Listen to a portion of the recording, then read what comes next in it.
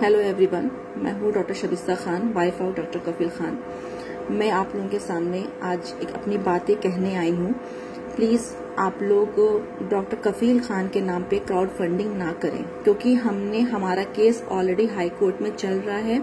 हमने वहाँ पे सीनियर एडवोकेट कर रखा है।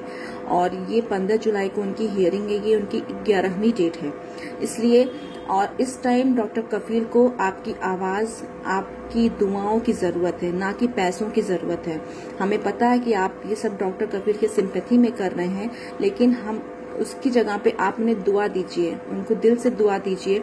उनकी रिहाई के लिए मांग करिए और जितना सोशल मीडिया में हो सकता है उतना उनके लिए आवाज़ उठाइए, क्योंकि आप ही लोग हमारी स्ट्रेंथ हैं, आप ही लोग हमारी ताकत हैं।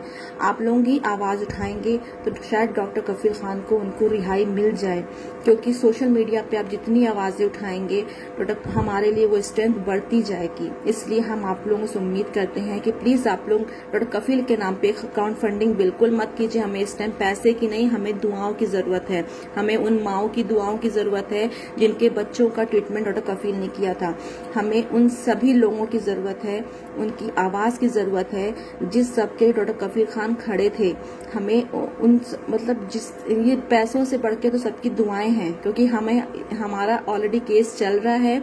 हमें कोई ज़रूरत नहीं है पैसे की।